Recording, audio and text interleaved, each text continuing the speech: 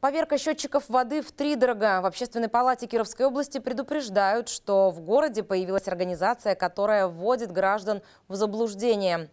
Вот такие извещения кировчане начали находить в своих почтовых ящиках. В них говорится, что сотрудники некого единого городского центра обслуживания ЖКХ призывают собственников жилья провести метрологическую поверку установленных в квартирах приборов учета воды – но по факту специалисты этой организации склоняют купить новые счетчики, говорят общественники. Причем цена за такие услуги достигает двух с половиной тысяч рублей, хотя стоимость поверки водосчетчиков, отмечают активисты, должна быть в разы меньше.